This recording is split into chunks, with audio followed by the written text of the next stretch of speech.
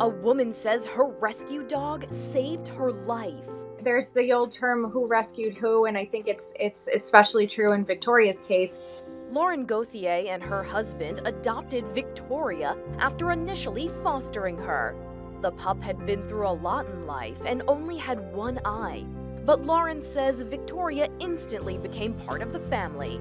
She says she didn't realize it at the time, but Victoria was getting in her face about a serious health problem. She uh, will often sit with me on the couch, watch television, and things like that. And she started smelling a specific area of my nose to the extent that she would actually touch her nose to mine where the cancer is and kind of lean back and look at me and smell it again and look at me. And it was very odd, and she kept doing it repeatedly. And I thought that that was a little bit unusual uh, for her to do.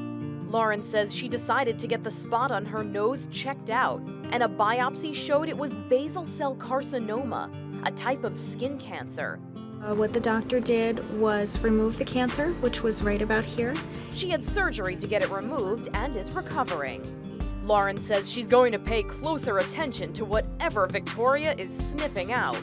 Hounds are great dogs. They're very overlooked in this country as a breed, and, and I'd love to see them get some uh, recognition for the wonderful creatures that they are.